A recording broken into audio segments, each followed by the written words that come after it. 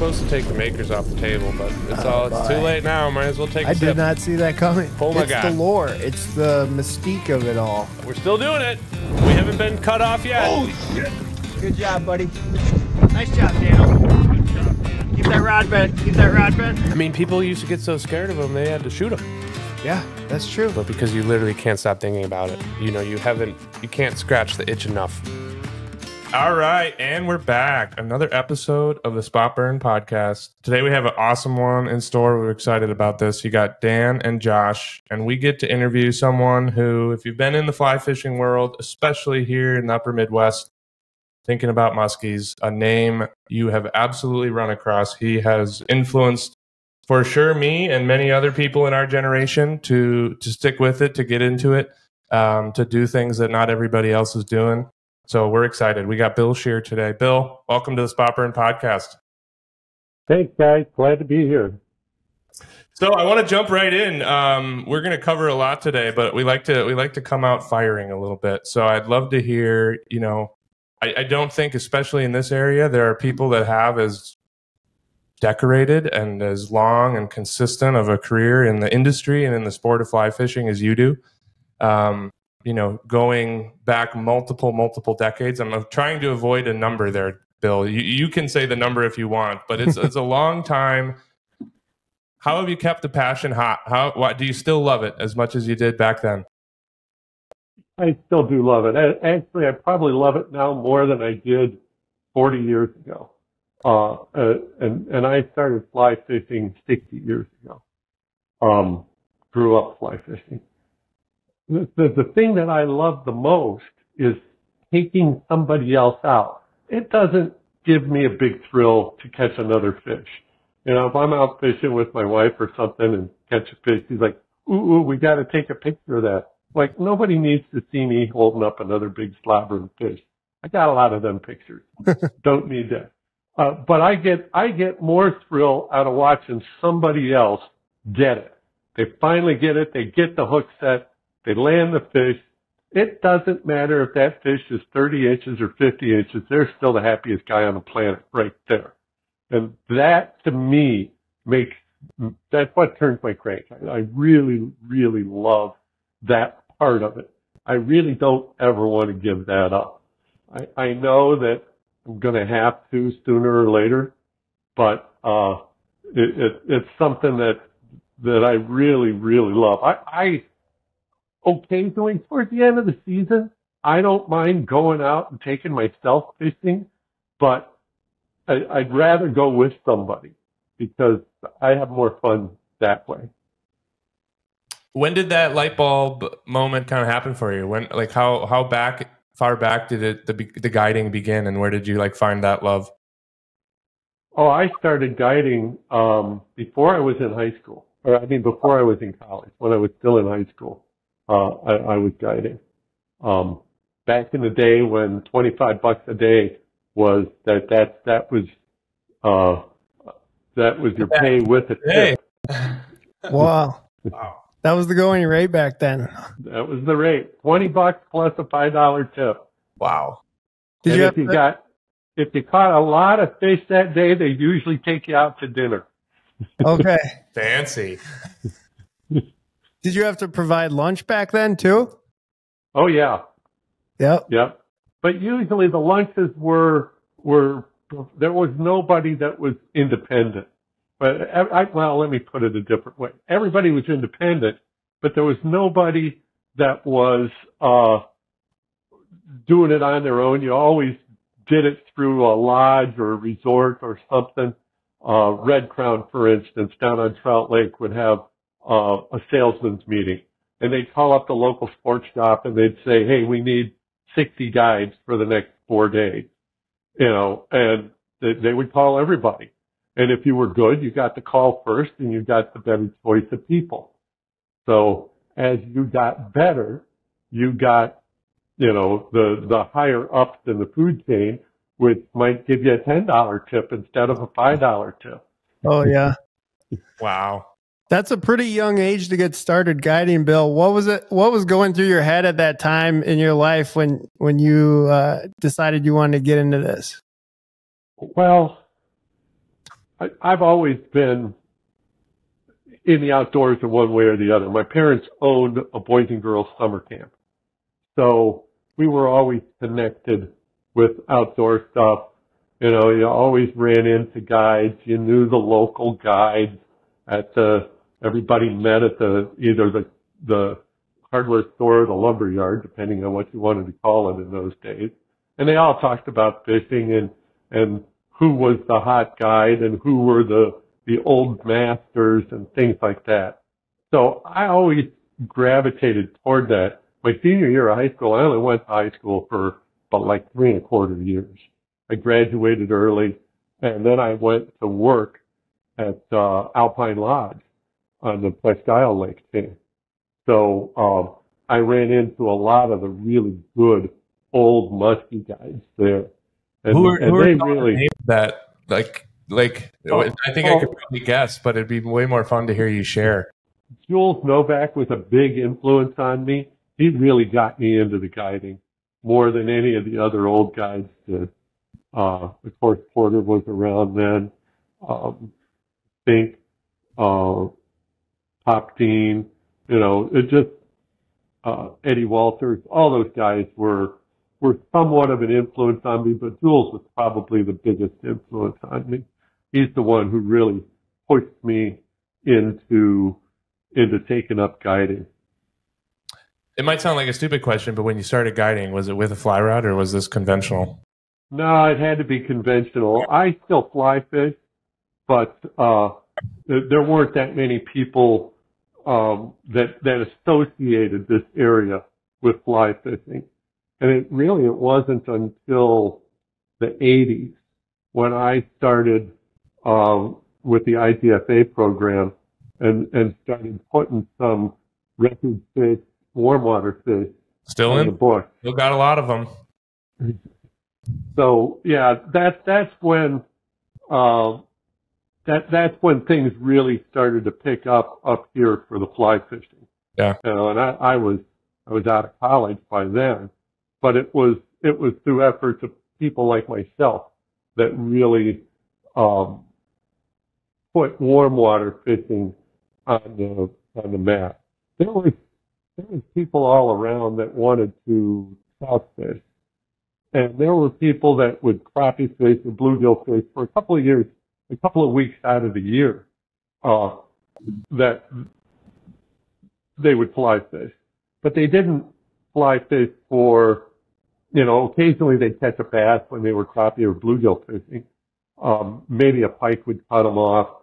You know, a muskie would eat a bluegill, but, uh, you know, that wasn't something that they were even thinking about. It wasn't on their radar. And what really got me started with muskies was muskies kept eating my bass poppers when I was bass fishing when I was in high school. So that, that's really what started me on the muskies. People told me I couldn't catch a muskie on a fly rod. I didn't caught some. They probably still tell you that today, I bet. Yeah. Oh yeah. Yeah. Well, how big of a rod do you need? You know, how do they how do they eat those little flies? Insects, right? They eat insects, right? Yeah. Um, Oh you, yeah. You made a you made a comment about kind of like where you were at when you started guiding and looking up to the masters, and I'll, I'll say it. I think you've you know, for sure, without a doubt, without any disagreement, become one of those masters. What would you tell yourself, sitting where you are now, telling telling the, the spry uh, high school version of Bill, starting out at his beginning of his career? What would you what would you go back and tell him? Oh, geez. Uh, you know, I'd have to go back to, to what my grandpa used to tell me. Listen to nature. Nature will tell you everything you need to know. And when you're on the water, my grandfather was a, a really great fisherman. And, uh, when you're on the water, pay attention. You know, uh, electronics today have ruined it. Um, but back in the day, you know, you had to learn the water. You couldn't, you couldn't just go out there and sit in a boat and expect fish to show up. You had to figure out where the fish were. You had to figure out what they were eating that day. And you had to figure out what time of the day they were going to feed the most.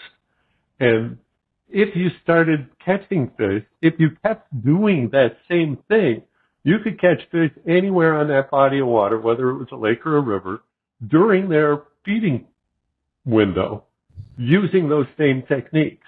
I still do that today. I still do that. When I get on the water, I have some notions of what's going to work.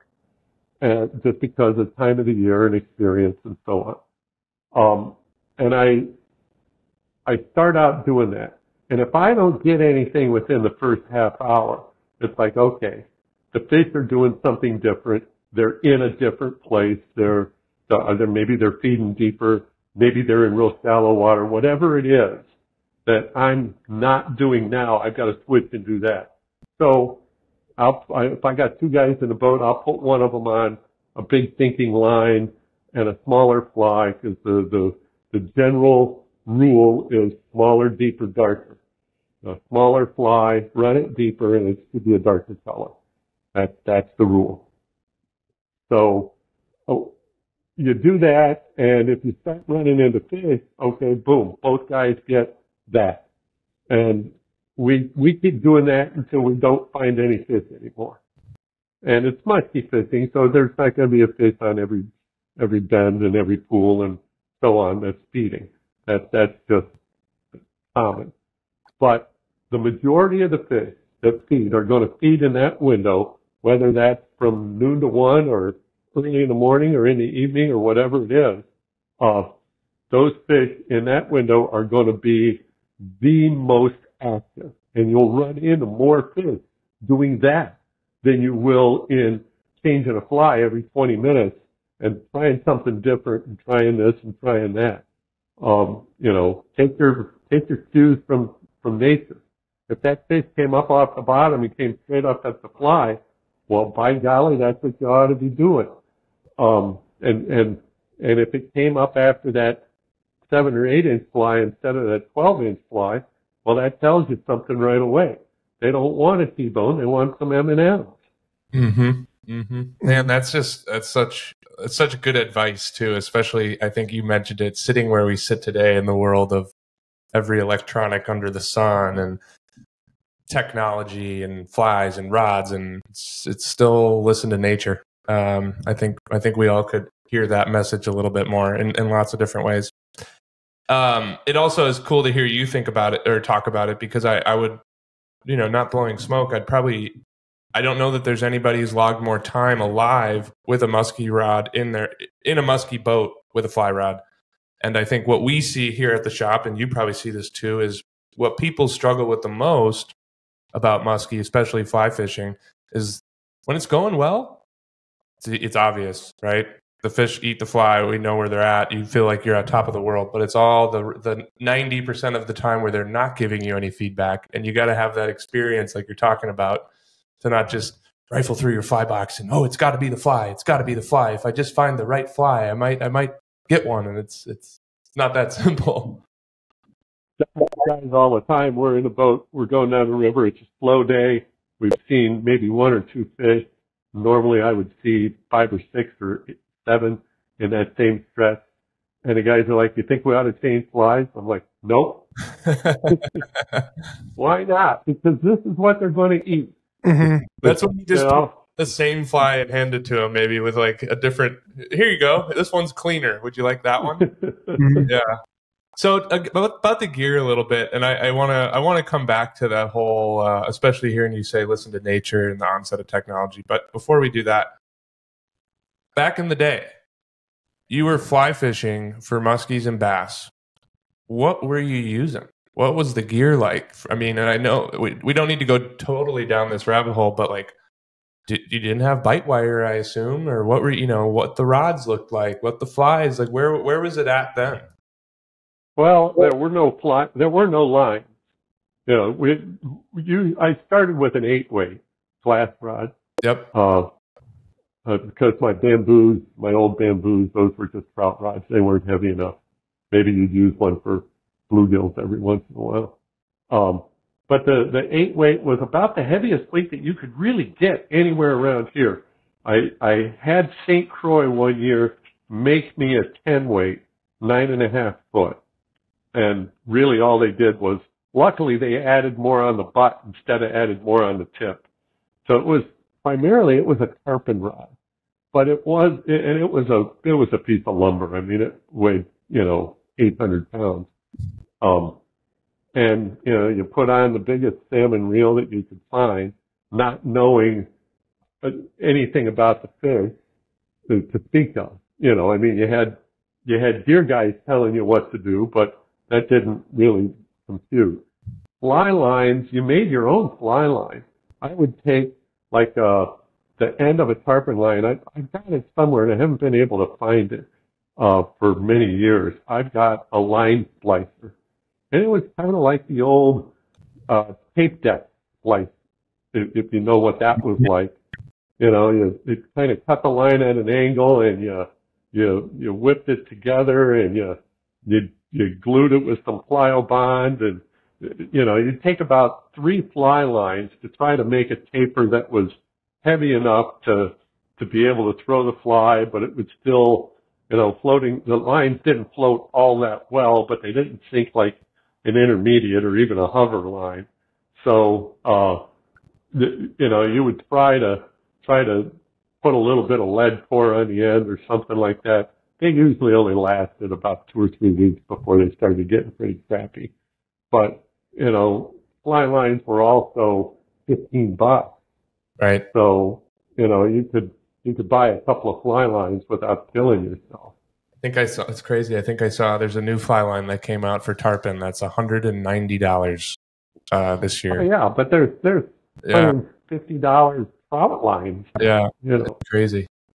How did uh I mean th- what's so crazy to me about this um is not only did you not have the gear cuz I felt like even when we started all fly fishing, you know, early 2000s that next big resurgence of kind of the the warm water game, we still didn't have all the gear, but it wasn't anything like what it was when you started. And we at least had the resources, the YouTubes, the books, how to fly fish for musk like it was a thing. It was written down you had none of that. So like even like Well, of the fly line where where tell me where your thought was at there. How are you what were you thinking? Well, I mean, there was there was information available, but you had to you had to buy a book or you had to talk to somebody. You know, I would send a letter, and that's how uh, when when we first started with the master's program with fly tying, everybody would tie six flies, and you'd send six flies to one guy.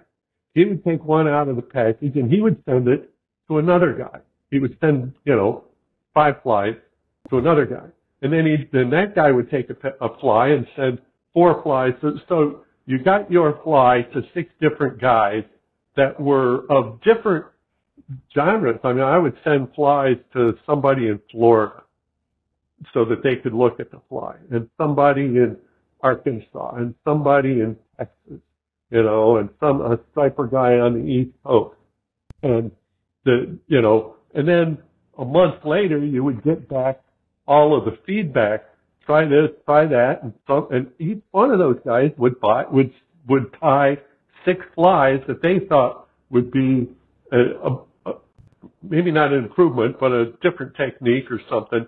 And those would go all the way back through all the chain and get back to you. You'd have, you'd end up with six flies because you would end up, because you started the chain, you would end up with everybody's idea. But then you need to sit there and you could take the flies and you could look at them all and you go, oh wow, that's cool. That would work. Where'd you get this? Where'd you get that? Occasionally you would call somebody on the phone, but you know, in the 70s and early 80s, that wasn't a guarantee, right especially from up here. Mm. crowdsourcing the research and development though is kind of cool that's sweet What kind so, of? yeah, Oh, go ahead, Bill. Well, I was just going to say, so the, the leader stuff that we used, I mean, there was nylon coated wire available, you know, in the 70s. So, uh, that, that's what we used, but it was, it was clunky, it was big, but of course, uh, the fish weren't as well educated and, uh, you know, you, you'd fish a lot in, in the weeds and things like that. That's what, uh, drove me to developing the weed guard that I used was, uh, you know, you, you were fishing in heavy cover you had to have something that that would get through the cover. Muskies are unique. You know, a bass, a pike, a walleye, everything else will take the fly in the middle of the weeds. Muskies won't. Muskies will wait for that fly to get in an opening and then they'll take it. They don't like to miss. So they want a clear shot at it. They don't want to go plowing through the weeds to get to it. They'll be hiding in the weeds. They'll sneak up through the weeds, but they wait for that fly to get into either a bathtub size or larger opening in the middle of the weeds in the lily pad, or they wait for the fly to break out of the, the weed line. You ever watch a little bluegill come shooting out of the weed line? You know, you got real heavy cabbage weed and the bluegill comes out into the open and he stops about two feet out, looks around and he goes, I made it. And he turns around and goes back real quick. He's been scarred one too many. Yeah, well, Yeah. well he, wa- he watched his he watched his 720 brothers and sisters Yeah. get eat. yeah, that's a real Finding Nemo moment right there. Yeah. Far from home. Bill, your grandfather influenced you heavily when you were a youngster to get into fly fishing. So he did a lot of uh, bass fly fishing. Did he do any musky fly fishing as well? No, no, uh, he did he did primarily panfish and and bass. Okay. That, that was, and my grandfather, you know, my dad too. My dad was born in the Depression, so they were kill 'em and grill 'em guys. You Mhm. know, uh, my my grandfather was Bill, my dad was Bill, so I I being the prodigy, I got to to to go with them on fishing trips. And as soon as I got good enough to catch my limit all by myself, well, then I had to bring one of my other younger brothers.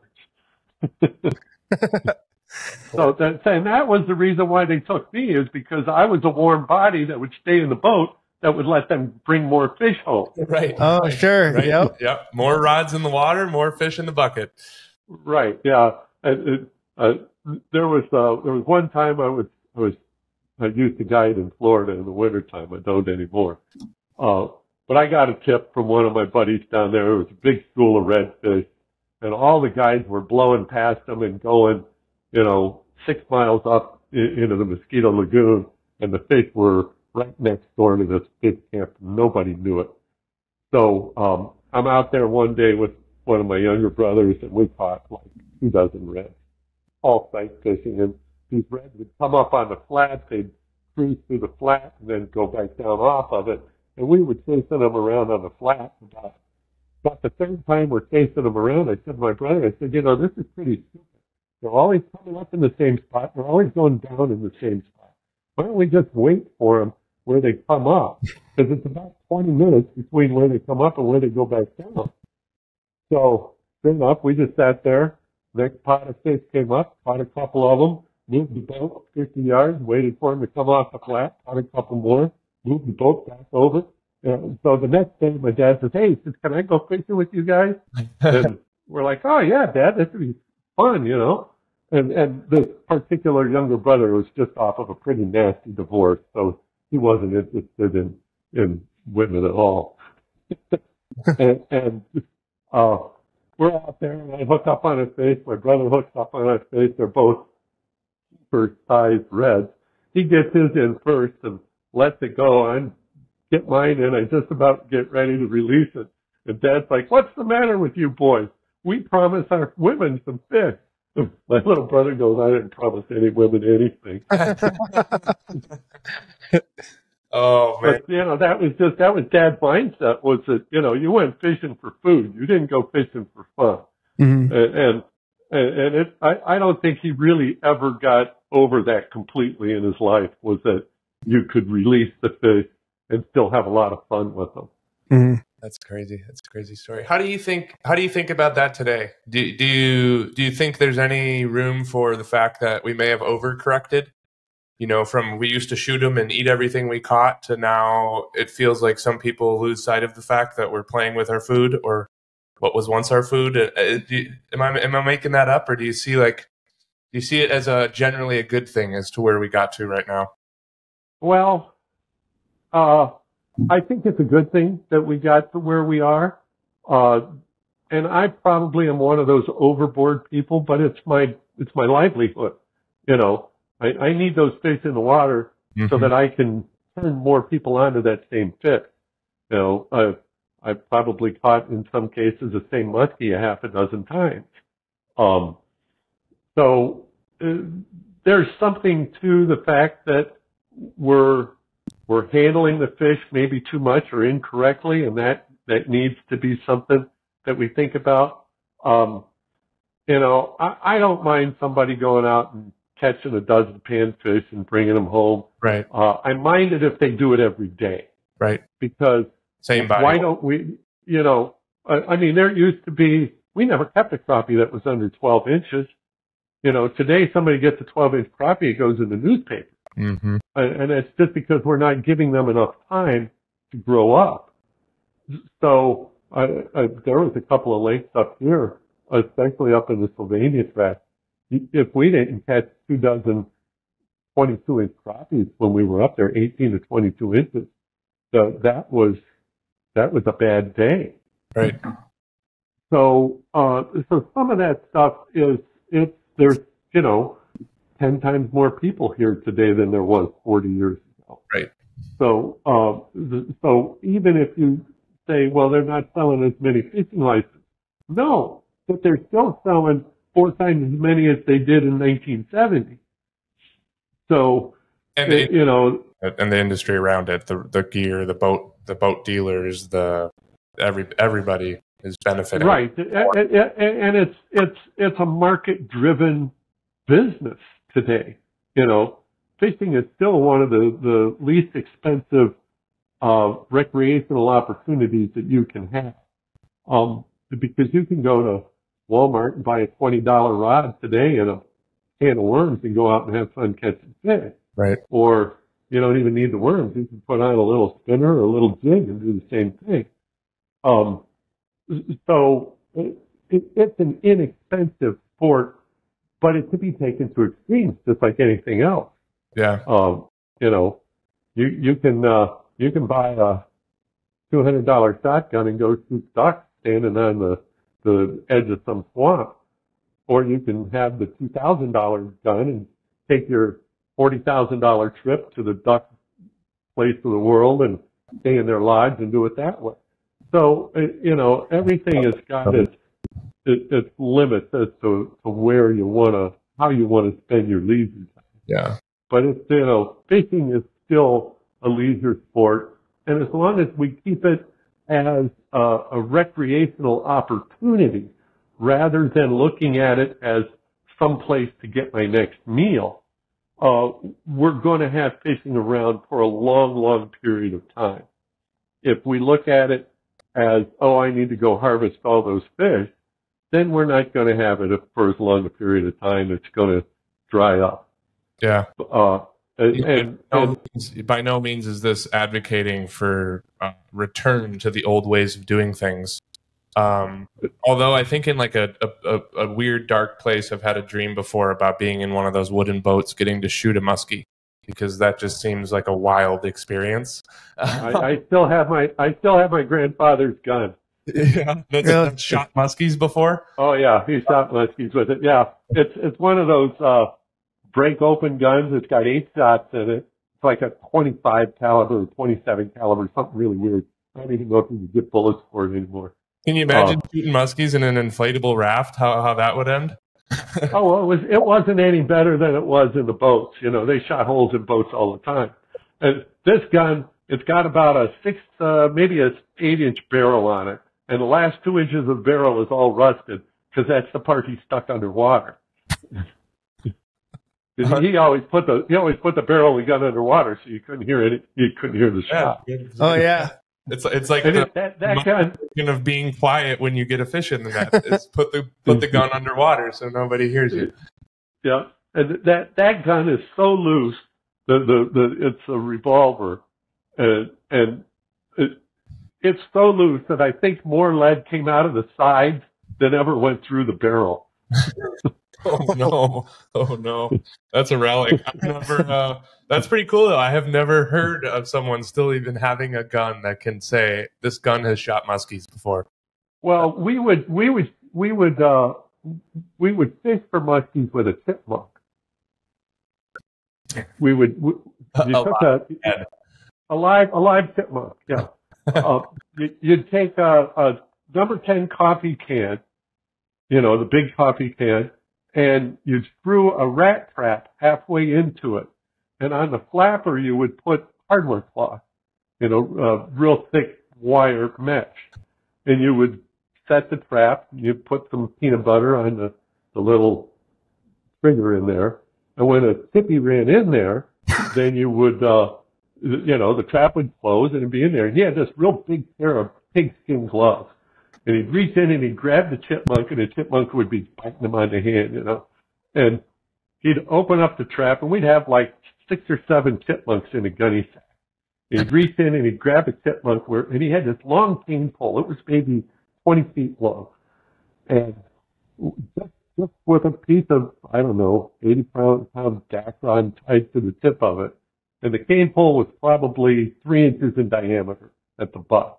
Unreal. Oh my god. And he had about maybe two feet of piano wire on it. And on the back of the boat, there was a little screw eye. And he would take a, a little board about maybe six or seven inches long and about two and a, two and a half, three inches wide. And he'd take a soup can and he'd cut it and put it down the middle of that for a rudder. And of course, one side was silver and the other side was gold. And that soup can was maybe an inch high. And we would pull that behind the boat. And the chipmunk, you know, oh, he had a, a brass ring.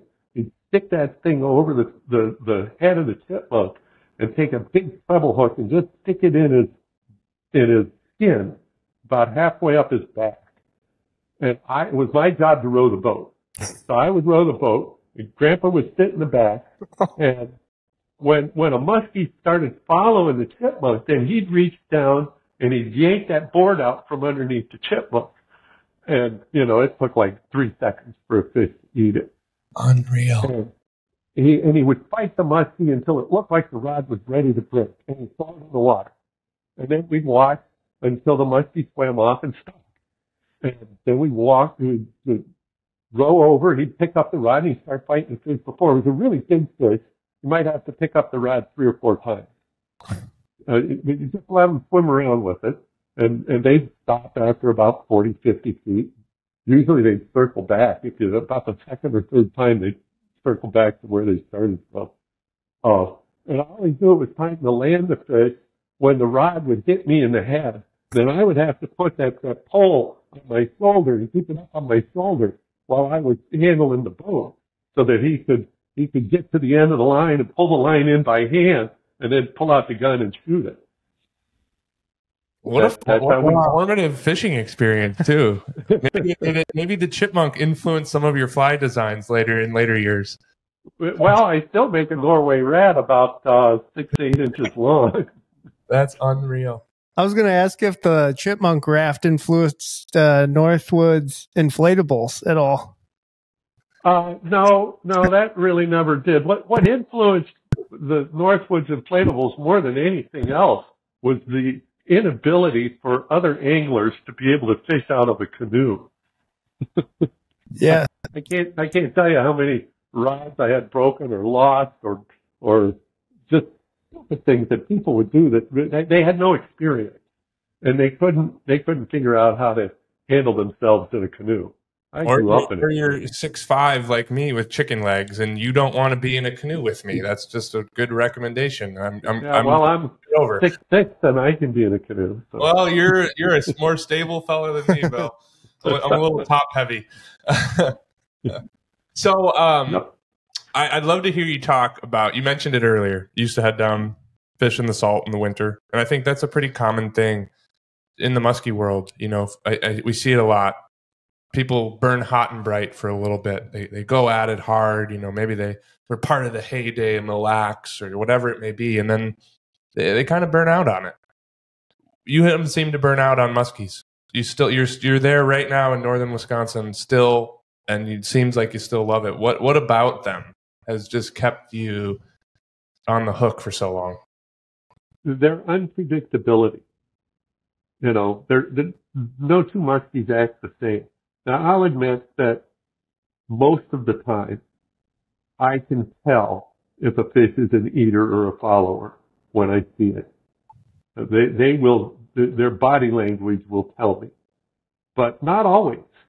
Sometimes they, they really fool me. Some fish that look like they're really hot aren't, and some fish look, that look like they're not hot at all and they're just a follower all of a sudden change their minds and they just explode. Um, you know, there, there's a couple of, of really great famous paintings around where there's the muskie, you know, laying there in the middle of the lily pads and there's 50 bluegills around them. And one eye on the muskie, you can see the painter has painted it so that that eye all of a sudden is turning a little bit. And there's a bluegill, you know, a foot and a half away and suddenly the bluegill goes, I'm lunch. Uh, and, and that's the thing that, that muskies are so unpredictable. Um, generalities? Yes, we have generalities. And that's what, quite honestly, I, I believe all fishing is working around those generalities that we have.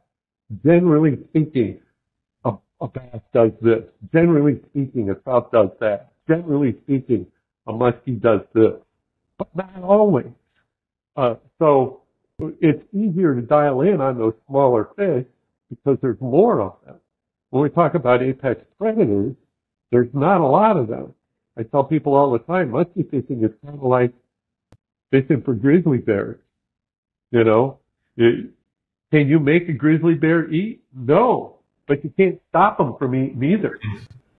Yeah, we've talked about that as well, just behaviorally, like you know, sometimes they're just going to saunter through town and scratch their back, and then they might attack a campground. You never know. It's just that, that's right. Yeah. Mm-hmm. Do you do you how do you feel about like especially where we're at now in 2024? It seems like if you would look at the musky world, it's like oh, it's all been figured out.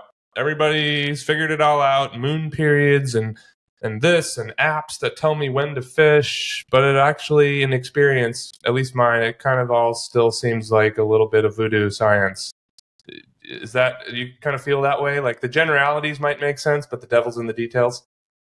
Oh yeah, it, you know, it, it, we've all read it. When's the best time to go fishing? When you can. Mm. Um, it, it's it's still the unpredictable um, ways the fish feed or the, the, the mood changes that they have. I mean, they can go from, you know, scared docile creatures to absolute carnivores in the blink of an eye. And, and what it is that makes them do that, we, we don't really know. We don't know what they're thinking. I tell people all the time, you know, geez, if I knew what the fish was thinking, you couldn't afford me. Isn't that the truth? Oh. I would like to like have that one day, maybe like one day though, just one day where you could just, you know, it's like you get to flip the switch and see behind the curtain, see what's going on. Oh, I've, I've been, I've been lucky. I, last year I had two days. We put 14 fish in a boat. Unreal. Yeah, each day. On fly. So those, those, those kinds of things don't happen as much anymore you know, uh, in in the 80s and the early 90s, uh, I would see, you know, 10 to 20 fish every day. Uh, the best day I ever had, we put 23 fish in the boat. Um, I had days where we saw 60 fish in one day. So that that doesn't happen anymore. Uh, I think the the numbers of fish are there, but we've educated them to the point where they're not as gullible as they used to be we saw the same thing with tarpon in Florida. You know, tarpon, a big tarpon fly now in Florida is about two and a half inches long because they won't take anything bigger anymore. Uh, the same, and I'm seeing the same thing here with the muskies. I've been going to smaller and smaller flies every year and doing better than I have with the great big flies. Do they sometimes still take great big flies? Yeah. When they really get revved up in, late in the fall and it's just mostly the big fish that are still active. Those fish are really chomping down on big stuff. But most of the stuff today, six inches, eight inches, that's max for me until later in the season, and then I go to 10 inches. Interesting. What um let's talk about pressure for a little bit and, and what you know how you've seen that because I, I think it's really easy for somebody to say that oh there's so much pressure these days you know we're here in madison on one of the most fish bodies of water in the state. But not many people have the perspective you do to that. So i think your your perspective super interesting there. What what do you where do you think we go from here when it comes to a problem like that? Knowing it's a generally a good thing to have more people interested in the sport because they care about these things that we care about but it means more pressure what's, I think, I think if they all stay on the lake, I'll be real happy. hey good, good. well you like me then bill you like me I, that's that's been uh, especially with the The- kid lately the river time is limited for this fella Yeah, the the bad part about the rivers is, uh, you know, the smaller the fish bowl, the fewer the fish. And and if we've got if we're going to maintain uh, these drought conditions that we seem to be in these cycles of now, then uh, we're going to have more difficulty in rivers, especially in the smaller rivers. You asked earlier what influenced the, the Northwoods inflatable. It was really being able to get into those those smaller deep holes in the rivers where I knew there was, you know, a 20 to 40 pound fish in it. I knew there was. I, I, I interacted with them before, but you got to be quiet getting there and you couldn't be quiet in anything but an inflatable. And the reason why I went to the pontoon raft is because in all these upstream areas of these rivers, uh, there's gobs of rocks and you gotta straddle the rocks.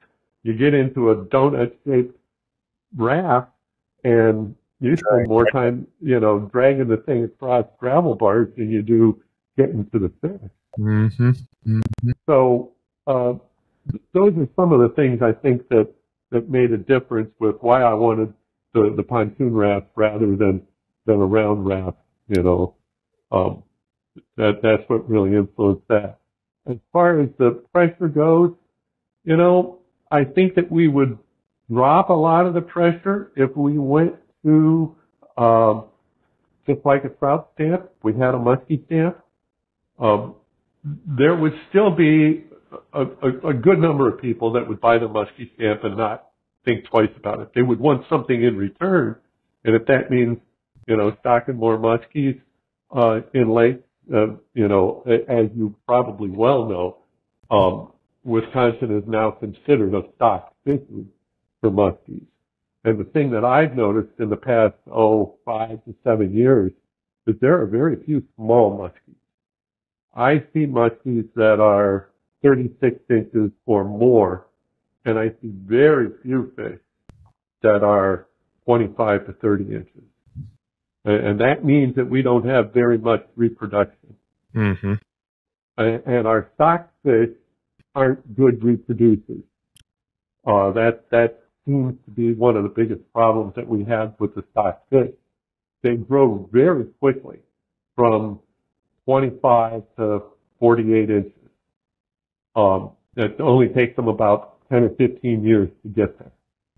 And, and that, that's incredible. But they don't reproduce well. I think we've bred that out of them.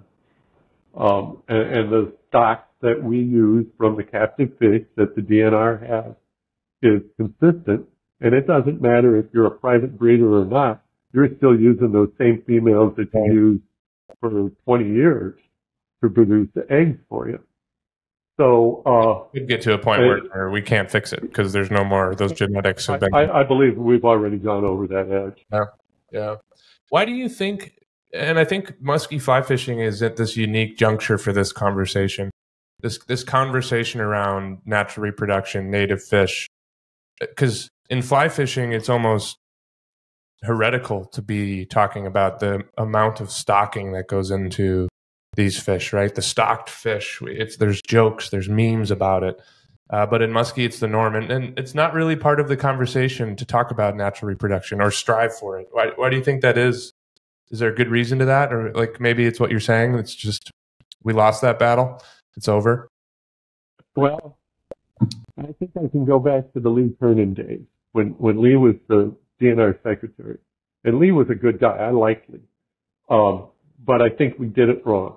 And I think that it was the, the, we didn't have a big enough grasp of the science at the time. You know, Lee promised us that if we spent $5 million over the next few years, we would bring back muskies the way they used to be in, in the 50s, 60s, and 70s. And we all bought into that. We all wanted that. So we said, oh yeah, sure. Let's, let's do that. You know, what, what do you need? How much money do you need? The Muskie Club got on board. Everybody got on board. And we did what I'm going to call spaghetti stocking. We threw them against the wall and see what stuck. And, you know, there, it's just everywhere. yeah, we put them everywhere. Where we didn't put them was in rivers. We only put them in the lake because the lakes, the, the, the DNR, even in those days, was still money oriented. So, Right. you know, we, we still had to go where the dollars were and it was easier to fish lakes than it was rivers. And Well, everybody knew the resorts on the lakes. You had the you had all. yeah, everybody knew the muskies were going to go into the rivers to migrate anyway. Uh, you know, so that that was just kind of a given. Um, and, and we put these muskies everywhere, and through the mid '80s, we had so many muskies it wasn't even funny. And then all of a sudden, we came out of the drought of the late '80s.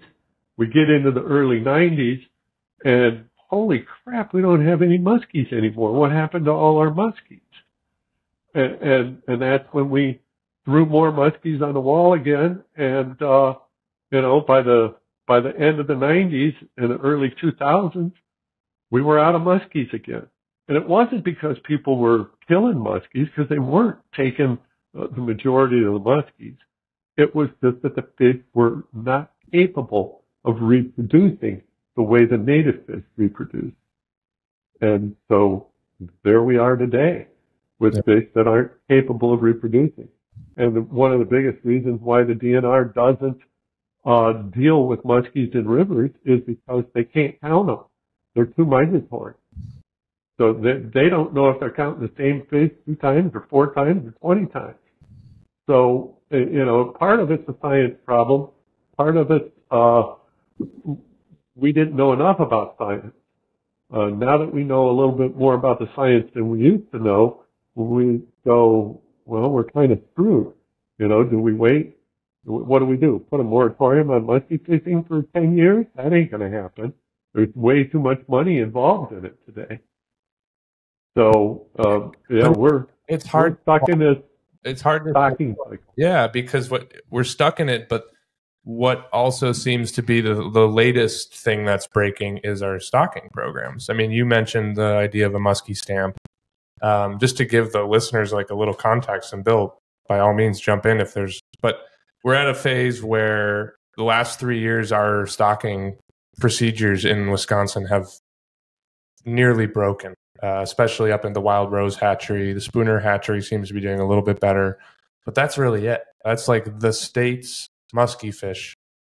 Muskie fishery is dependent on those two hatcheries running, and they don't seem to be. And then I've been told, at least, that the reason we don't have a muskie stamp is because then we would take all of the muskie dollars and we put it in a stamp program. So muskies would only get what's in the stamp program. And right now they get way more because they get full license sales. But juxtapose that next to what was just released in a news article uh, a couple weeks ago. Hunter licenses are so far down that it's impacting fisheries budgets.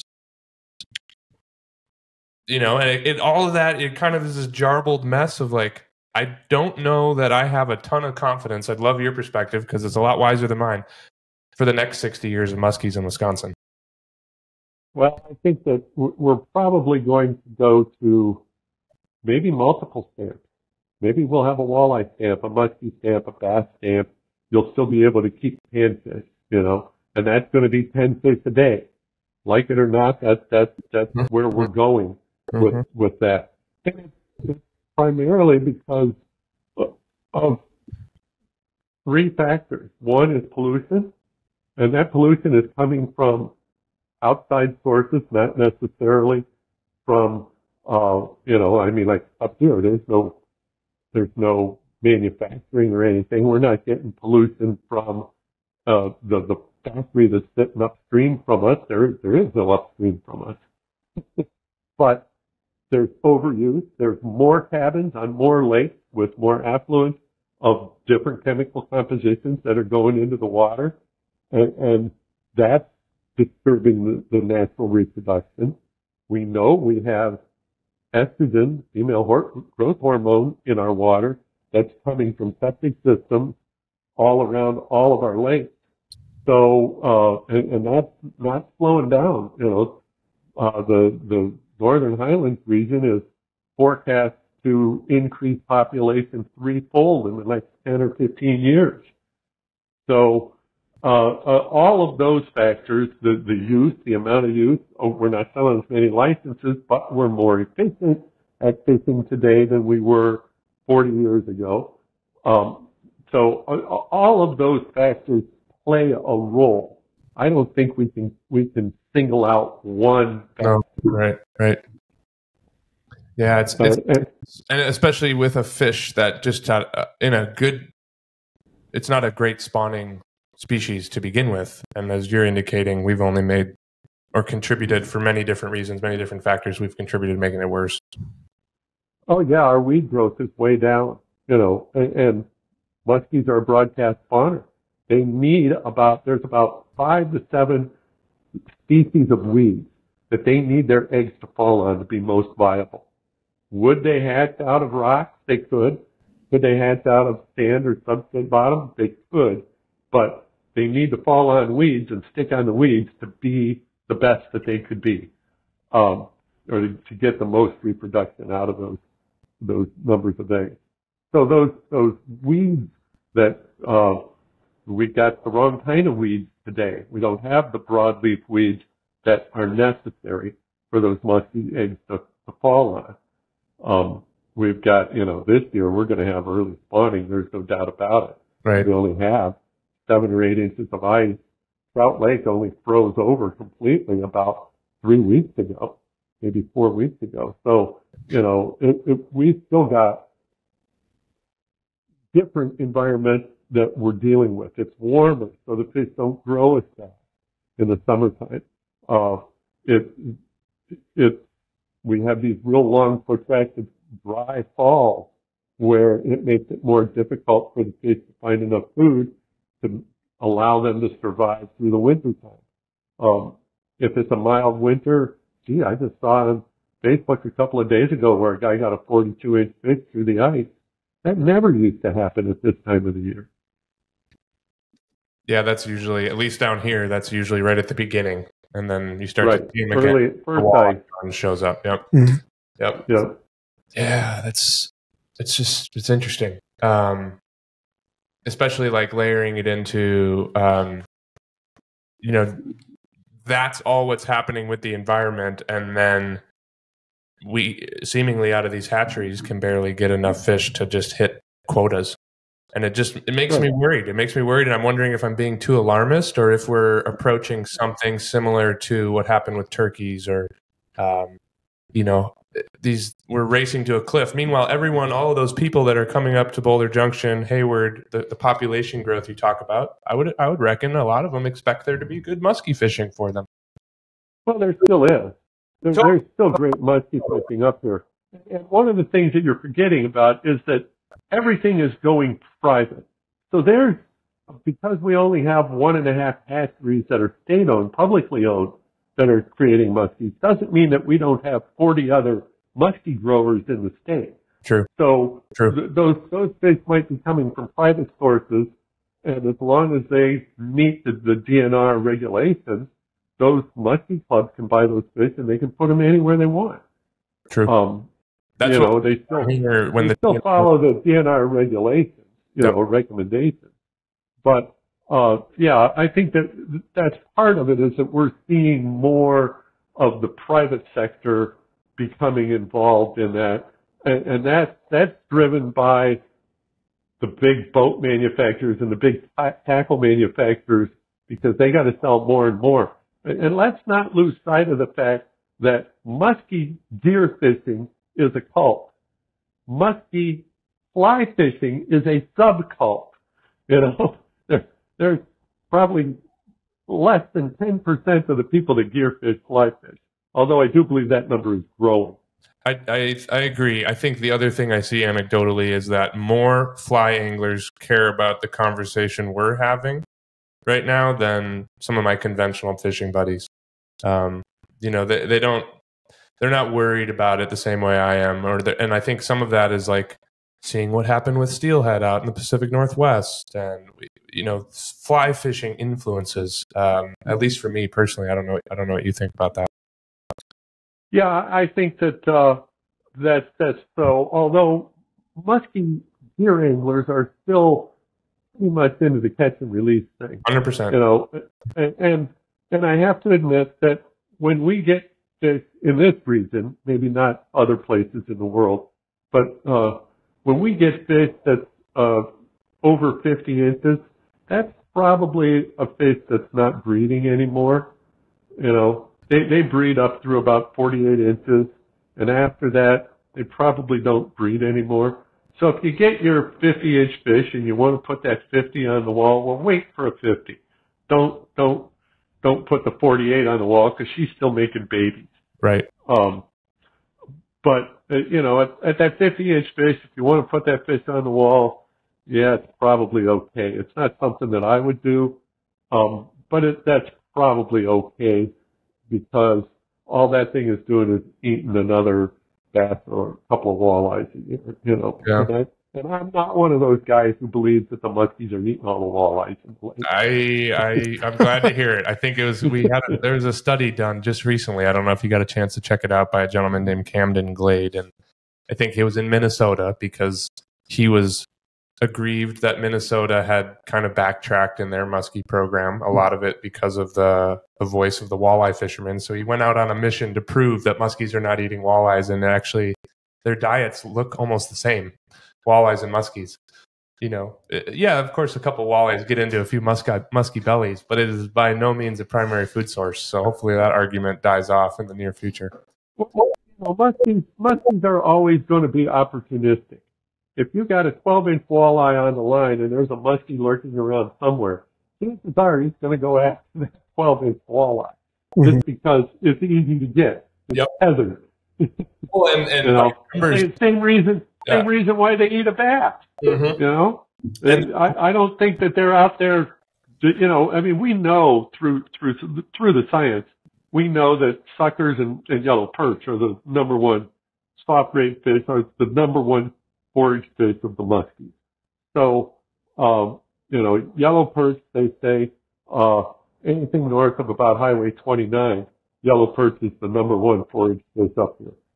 Uh, for every fish, whether it's a bluegill or a muskie. They they eat yellow perch at some stage of their life, and they eat quite a few of them. Um, so yeah, I I I, I don't I don't think that the, there's lots of walleyes that get eaten.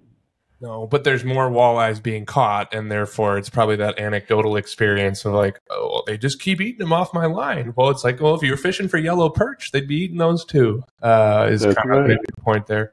Do you think fly fishing has a role to play? The fly fishing muskie world. It's small, but it feels small and mighty in this conversation. Specifically, what, what where my head goes is: is there any value to things that we've seen, such as um, artificial only sections of river for steelhead in Baldwin, Michigan, or out west? Is there is there are we are we kind of is this an echo chamber of fly fishing that we need to turn off, or is there some merit to this type of thing in the future, in your opinion?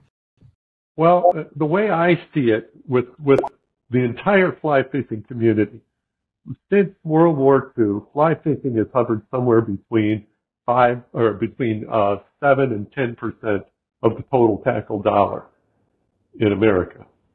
But it's the first of that of of all the fishing tackle. It's the first. It's the most expensive. It gets the most attention from companies that want to grow their dollar because they can they can make more more dollar per capita on a fly angler than they can on a conventional fisherman.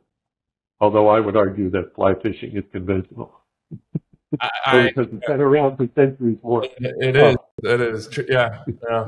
But, uh, but, but, but my point here is that, that what happens in the fly fishing world first trickles down to everybody else.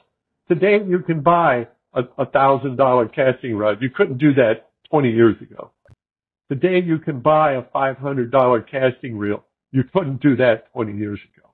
So, um, so that technology has trickled down to the, the but they got to pay for the technology first, and they pay for it with fly anglers.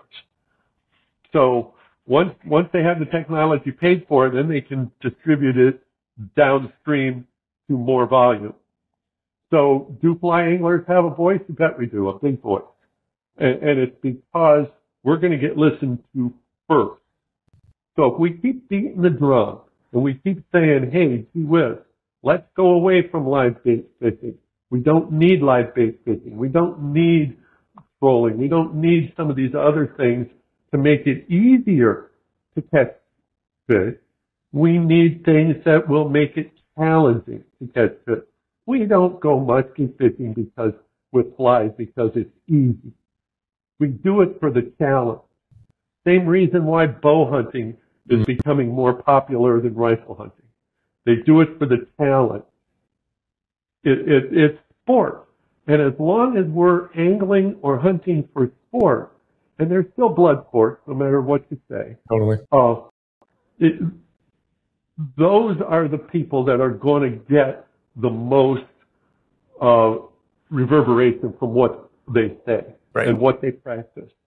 You know, uh, it it's pretty common in other parts of the country for uh, for anglers to, to have a really big voice because they don't have as much water as we do. We're, we're blessed with, with so much water and so much diversity. Also, Great Lakes. we're very 17,000 miles of trout stream, yeah. gazillion lakes and, and warm water rivers. So, you know, we get a whole lot more voices here. But the fly fishermen, I, I believe, are the ones that get the biggest voice from the money. And the money is where, where everything happens in this country today. Right. Will that change anytime soon? I doubt it.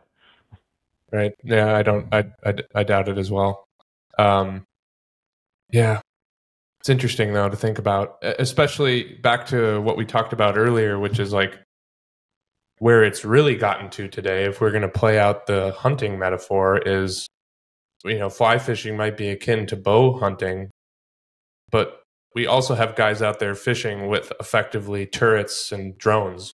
I mean, from the Oh yeah. you know you got you got three guys in the boat each of them get what three baits so you now you got a, a nine bait spread you got live scope off two sides they can't hide and I, I know you know we'll all kind of play into the cliche of saying you know woe is me get rid of all this technology. But i think there is to your point if the the fish aren't getting more plentiful um, and this is really a sport a recreation sport you know we, we should kind of shift those principles. Because like even hearing you talk about man we had a 24 fish day. You know we we know I, I i mean i'm picturing what that looked like in a raft with fly rods flies that you made and i compare that to someone who had a 24 fish day today with four live scopes and nine baits and it, it, doesn't it doesn't get me as excited and i think the consumer is going to feel that too hopefully I'm encouraged by some of the the Bassmasters uh, Mm. type tournaments that are now limiting the electronics. Um, and, and and that's a good thing. I, I think that we we maybe have gone too far over the tech edge. You know, the live scope probably really brought that out. It, it it's just it's not it's not it's not even a sport anymore. You know, it, it it's just okay. There's a fish over there on the other side of the lake that looks like we ought to be able to catch that when it's big enough. Let's go try that. Nope. You know, I not on its nose yet, Bill. Can you? I, I can just get it a little closer to its nose there. You know, poke it uh, like it. You hear these guys talk about how they're fishing and they're using language we would never use in the boat. They're like, I can see it. It moved. See if you can snag it in the face, and it's just it, it gets me gets me a little angry. But uh, let's Oh yeah. go ahead. Go ahead. It- well, there's no doubt about it that that I, I believe that we've protect ourselves to the point where we we got to be careful about going beyond. Right. If if of, of you know, I think from your perspective too, which there is some weight. It's not just anecdotes. If we've already before live scope influence and pressurize these fish, what does it mean after that? But um, let's talk about something more fun. Uh, you you Well, okay, go ahead. I, I I've had I've had the best musky day I'll ever have in my life already. I had five fish. I landed five fish over fifty one day. That will never happen. tell us about that day. Can you tell us about that day? I was in November. I was on the Wisconsin River, and there was How- nobody else. Oh, it was maybe 20 years ago. Okay. Uh, I was on the Merrill stretch, so Yep. you know it's, that's a real popular stretch. But back then, you know, there was only one or two other guys that were fishing it, and I wouldn't even fish it until things froze out up here. So it was like the middle of November. It was a full moon week. Uh, it was actually a full moon day. And I went fishing with a buddy of mine down there, put the boat in at Merrill, took out down at uh, the halfway point, and every fish that day decided that it was going to wait for me. But my buddy was in the front. Now my buddy couldn't catch. He, he was he was uh, you know when I say couldn't cast, he could make a 25 or 35 foot cast, but he couldn't be accurate. Me, on the other hand, I can be real accurate at 60 feet, 70 feet. So, um, I'd give him the first shot and he'd say, okay, go for it. You know, I'd lay the fly and every, every one of those fish was in a log jam.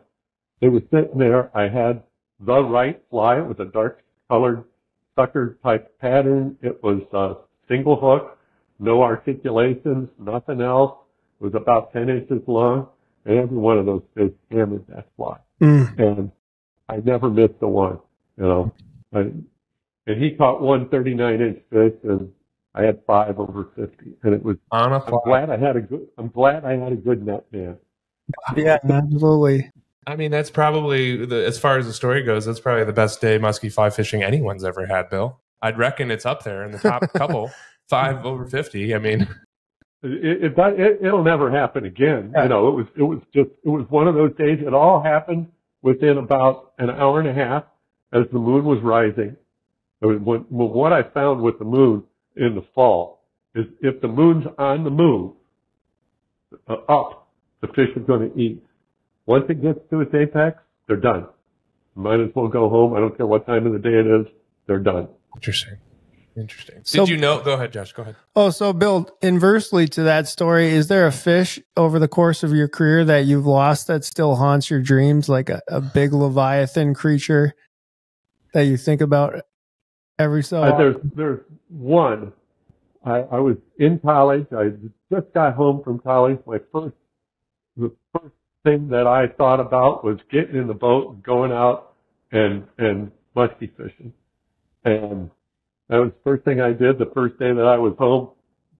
Jumped in Dad's boat, took off across the lake, and first I, I don't know why it just happened the way it did, but I, I'm cruising real nice and slow, you know, just along in the boat. And there's a mallard swimming between two of the islands. If you're familiar with Fish Trap Lake, I grew up on Fish Trap, or at least in my college years. My parents owned property on Fish Trap. And between the, two islands where the, the shallowest channel is, uh, there was a full-grown mallard. And for some reason, I thought, you know what? If I was a big muskie and I knew that there was a big muskie in that hole that I was uh, near, I, I thought, you know, if I was a big muskie, I'd be following that big old mallard. And I ripped off a bunch of line, and this would have been 1978. And uh, I threw about a 70 foot cast out. The mallard got up and took off. I made about three strips, and I got hammered. And I just put the rod in my gut and stuck it as hard as I could. And, and then this is on an eight weight rod. That fish came out. Yeah, that fish came out of the water.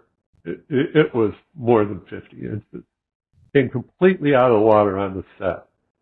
Took off and started running between the islands, and I just bared down on it and I turned them, and I got him coming back towards the deep hole. I thought, I got this. Comes up again. He rolled on the surface. My line went limp. Mm. Cut the leader. Cut the steel. Uh, or m- maybe he didn't cut it. Maybe the steel just had a weak point in it. They got it wrapped around them or whatever. It's gone. Ten seconds later, the fish jumped again. Another ten seconds, it jumped again. It was trying to throw the hook. So whether I hooked it it. in the gills or whatever, yeah, oh yeah, all the way. Oh my god. Dang. And, and I never, I, I didn't see that fish again for about 15 years. And I, I had a, a customer, we were fishing in that same bay, and, uh, I told him, I said, there's a big fish in here, I know she's here, uh, but I haven't seen her in a long time.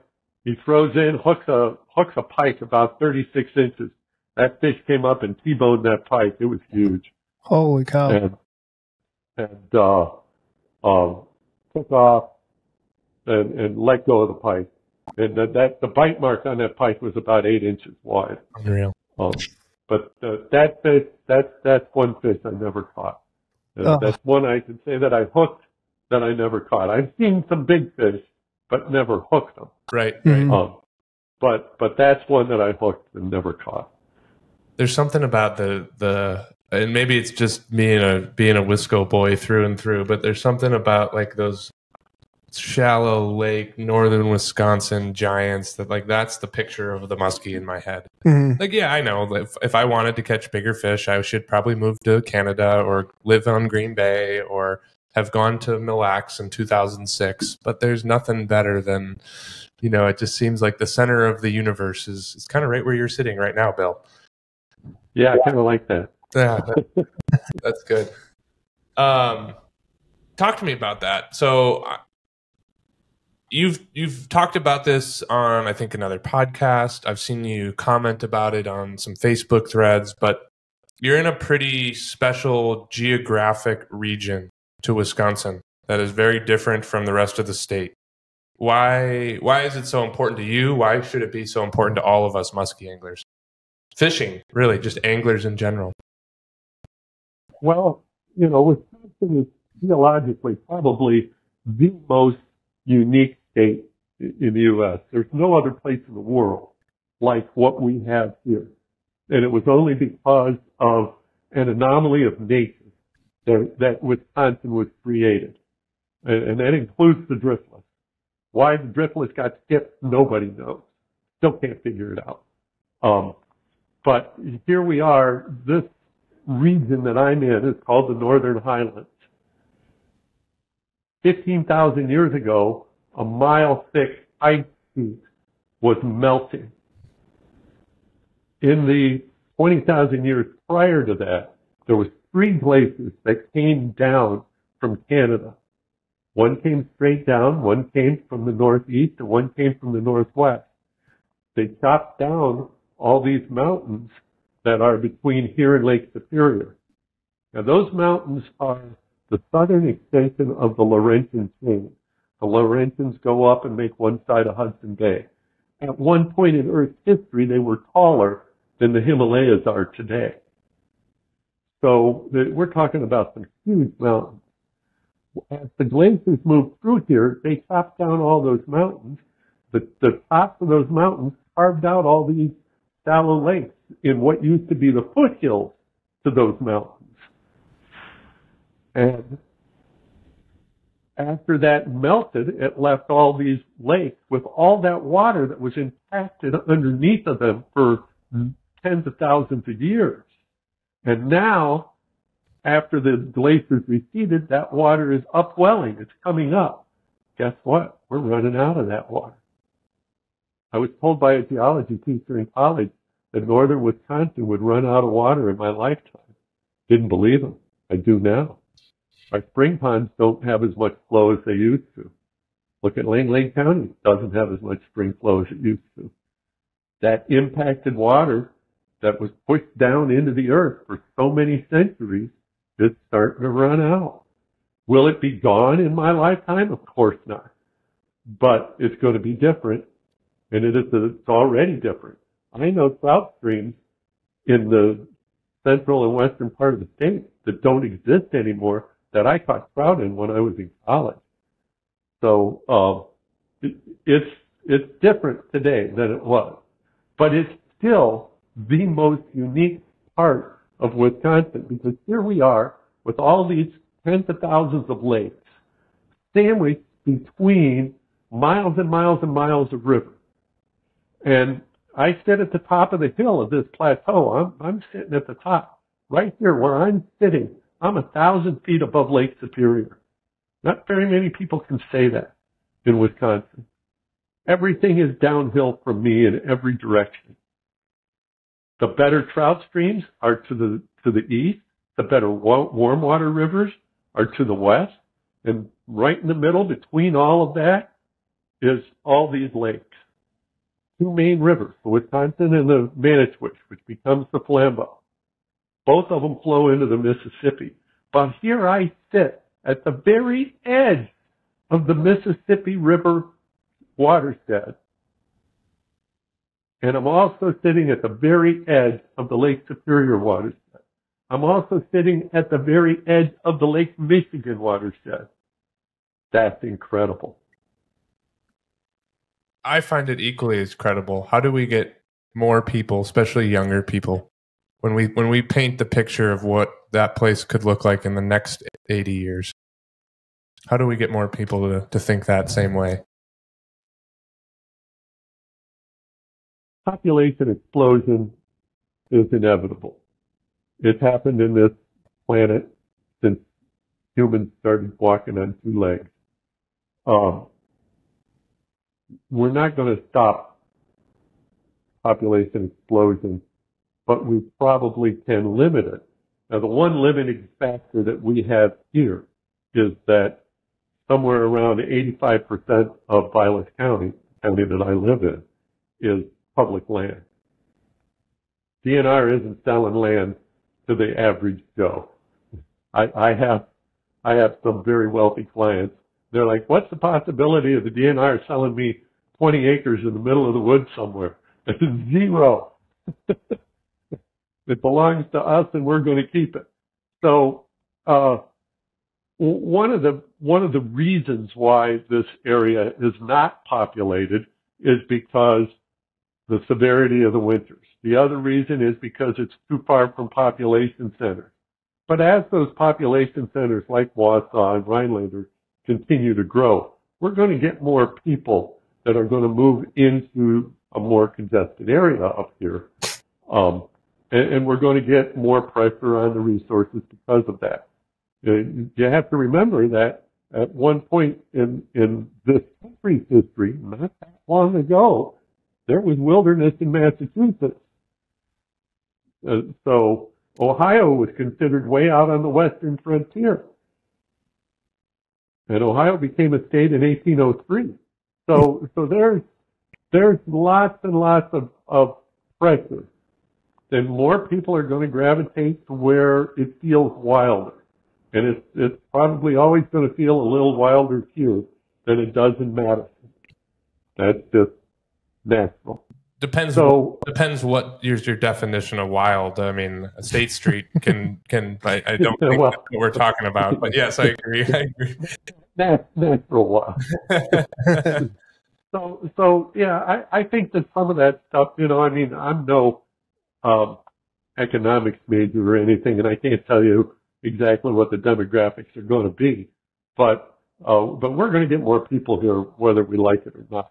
Right. Um, uh, you know, and, and, you're going to get more people in Madison, whether you like it or not. Yep.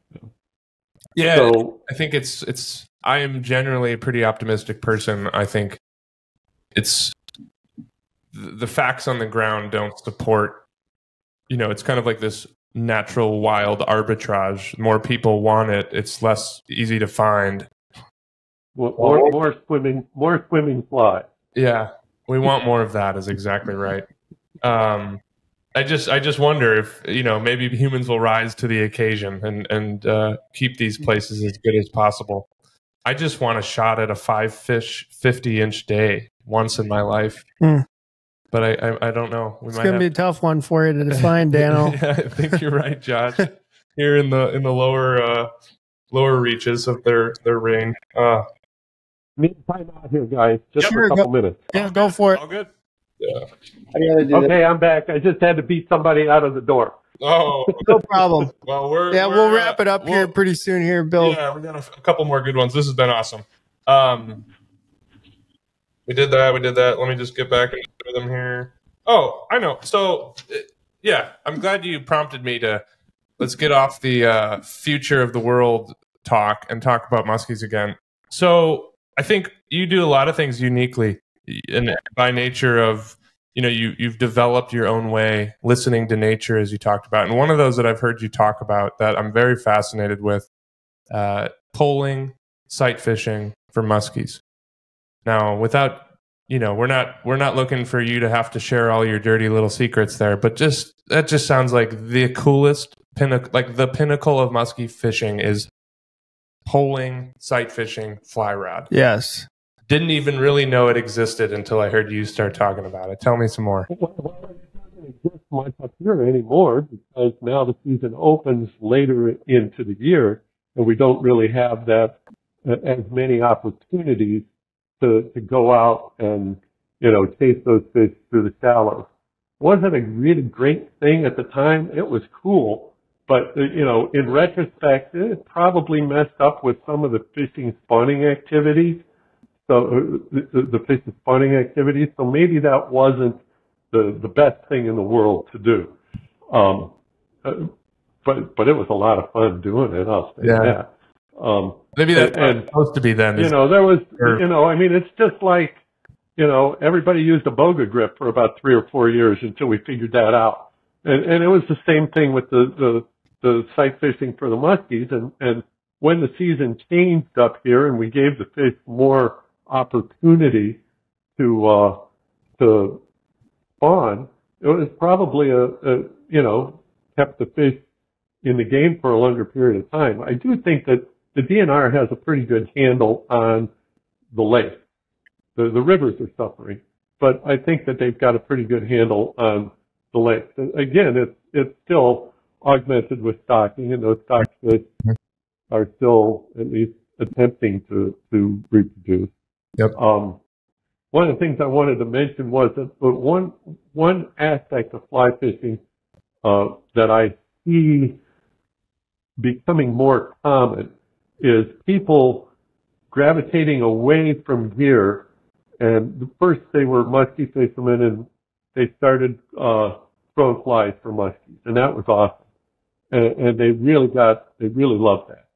So before long, they started doing everything with a fly rod. And, and there's a number of people that have gravitated from gear all the way into fly tackle completely, and they're they're totally immersed in in fly fishing now, and, and that's helped the sport quite a bit. It has brought some younger people in.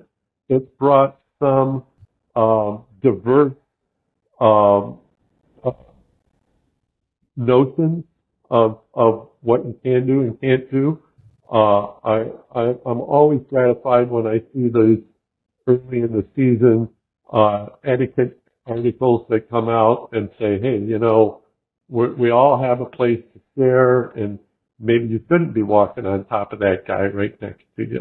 And, and you know, somewhere in our fishing careers, we probably all did that just because we weren't aware of, of what it was, what was expected. Uh, so those articles have a place.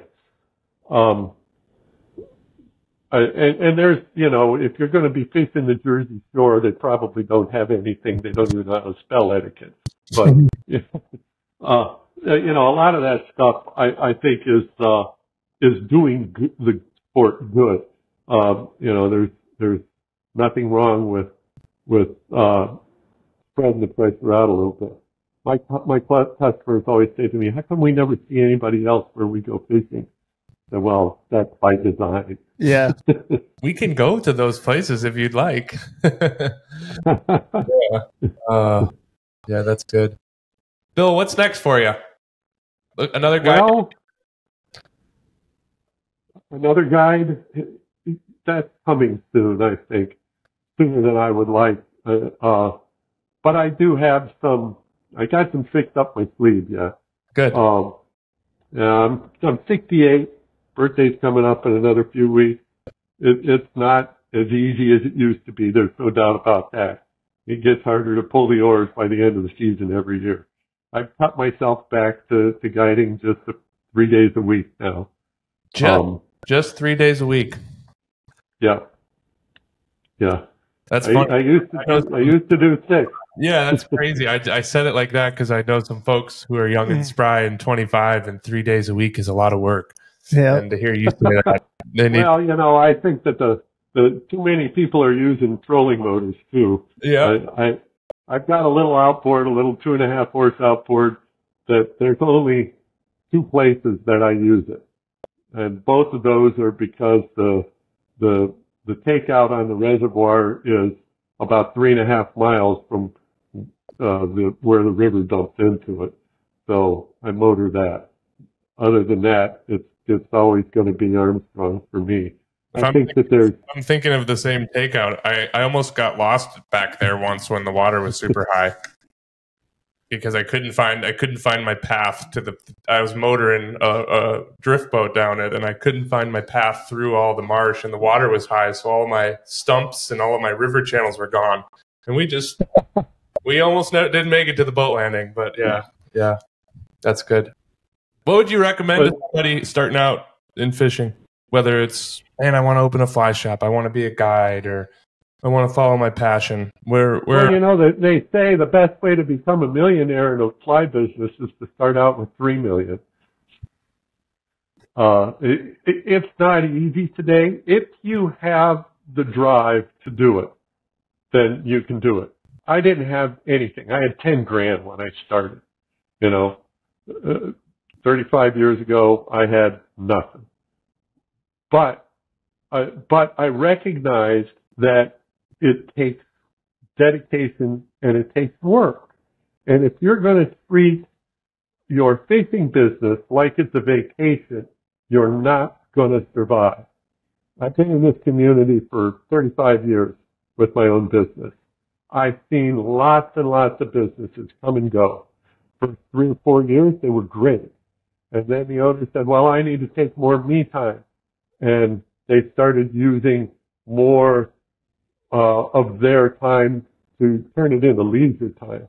And as soon as they did that, their business started dropping off, their customers started going away, and the next thing you know, they're out of business. Hmm. So if you're going to work, work.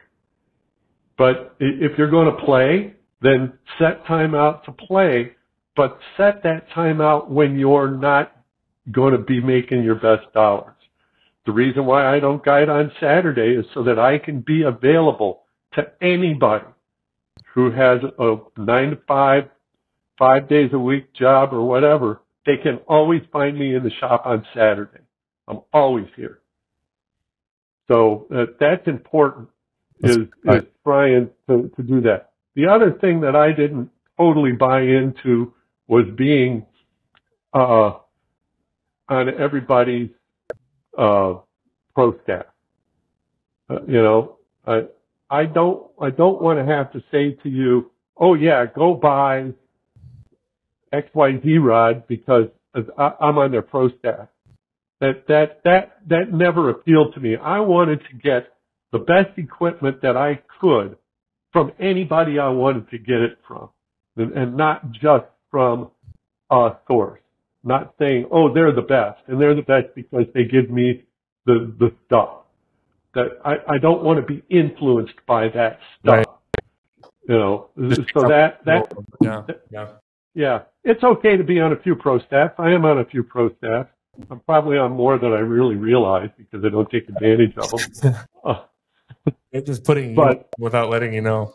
oh yeah, yeah. I I had a I had a uh, one of my reps call me up this winter and he says, "Well, he says you're on such and such's uh, wholesale list." I said, "Really? I've never bought anything from them, God, but I guess I'm a dealer." yeah, right, right, right. Oh yeah. Well, that's awesome. Um, man, this was this was. I'm honored. So so this was awesome. one one thing I want to mention. Please, yeah. Uh, I, I'm working with a learning company right now.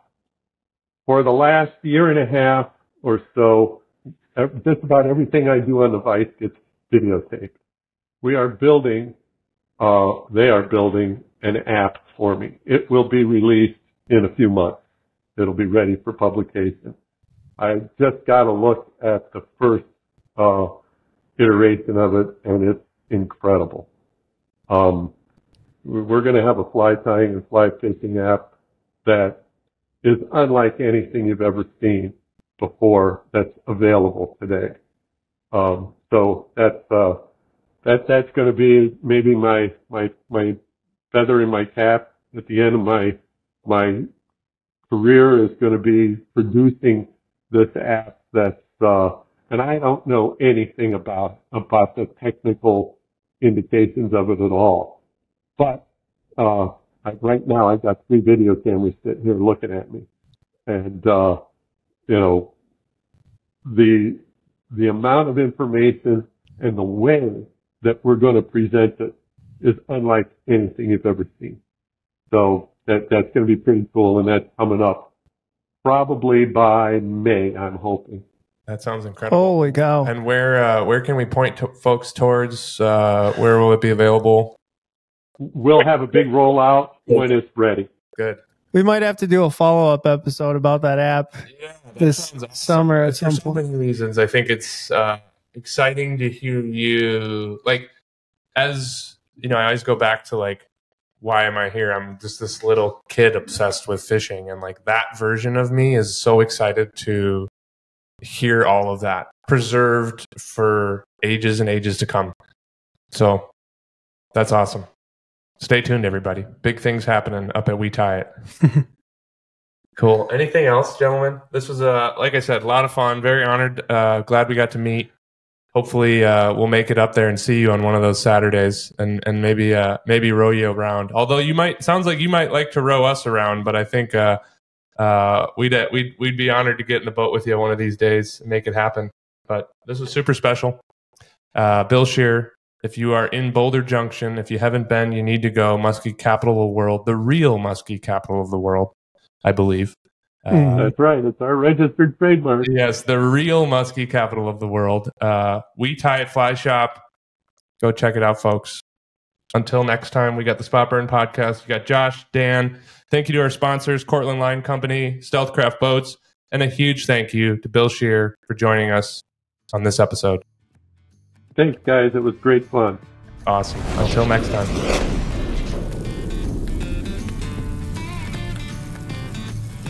Thank you for listening to the Spot Burn Podcast. Coming to you from the dungeon, this podcast is presented by Musky Fool Fly Fishing Co. We want to thank our awesome sponsors, Cortland Line Company and Stealthcraft Boats.